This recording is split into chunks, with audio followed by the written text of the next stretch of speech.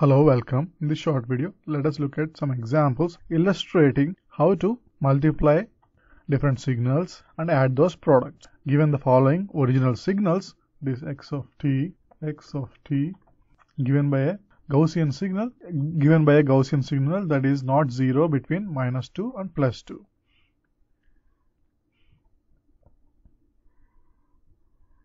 So this is minus 2 and this is plus 2 and the peak is at 0. So this is x of t. And next we have the unit step signal that is u of t which is basically 1 for values of time t greater than 0. So this is u of t and the value is 1.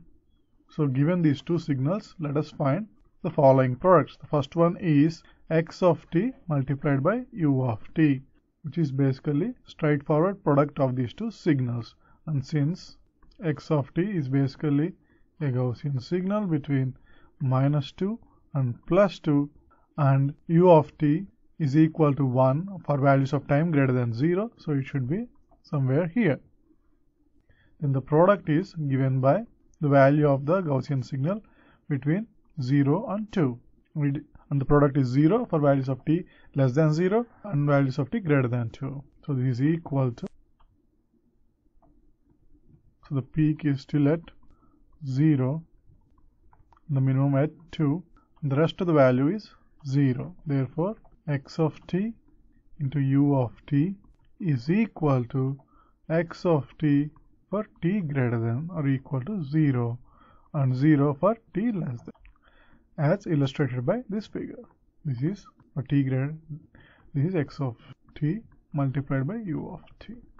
Next let us look at x of t multiplied by u of 1 minus t. So for that we need u of 1 minus t. So in order to find u of 1 minus t we need u of minus t which is equal to 1 for values of time less than 0 which is basically a reversal of the original u of t. Then u of 1 minus t is basically same signal just shifted towards right by 1 unit. So it is equal to u of 1 minus t. Even though there is a positive value 1, this is shifted towards right because it is actually equal to minus of t minus 1. So since it is t minus 1, we have a shift towards right. Now when we multiply this signal with x of t, that is x of t minus 2 plus 2 then we have u of 1 minus t is u of 1 minus t. And this is x of so the product is equal to value of the signal up to this point that is 1 and the value is 0 after 1 so this is the product x of t into u of 1 minus t. x of t multiplied by u of 1 therefore x of t multiplied by u of 1 minus t is equal to x of t for t less than or equal to 1 and 0 for t greater than 1. Now let us find the sum of the products x of t into u of 1 minus t with x of 2 minus t multiplied by u of 1 minus t. We already know the product x of t with u of 1 minus t which is given by this signal that is this notation or this formula. Next we need x of 2 minus t into u of 1 minus t. x of 2 minus t is basically equal to x of minus of t minus 2 which is basically a right shift for the signal x of t or in this case x of minus t since x of t is equal to x of minus t. So it should look like this and so the shift value is 2 so the starting point becomes 0 and the end point becomes 4 and the peak is looking 2. So this is x of 2 minus t. Now if we multiply this with u of 1 minus t we basically have this is u of 1 minus t.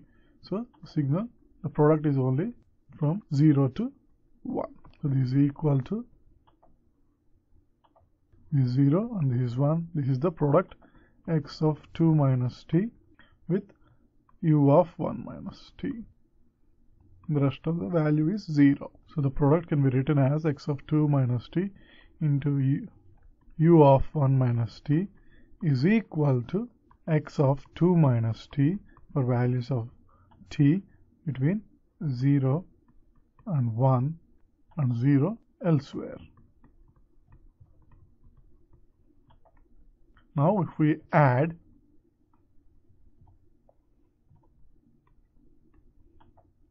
this signal that is x of 2 minus t into u of 1 minus t with the signal here that is x of t into u of 1 minus t which is valid from minus 2 to plus 1 that is which is non-zero from minus 2 to plus 1 that is minus 2 to plus 1 and it is 0 elsewhere this is x of t into u of 1 minus. So if you add these two signals, the sum should look like up to 0, it will have the same structure. From 0, basically it will have an increment equal to this product. This is the sum of x of t with u of 1 minus t plus x of 2 minus t into u of 1 minus t. This is minus 2, this is 0, and this is 1. Therefore, the sum y of t given by the sum of these two products is equal to x of t for t less than or equal to 0 and then x of t plus x of 2 minus t for t between 0 and 1 and 0 for t greater than 1. Thus, we can use simple graphical representation for multiplying and adding different signals. Thanks for watching.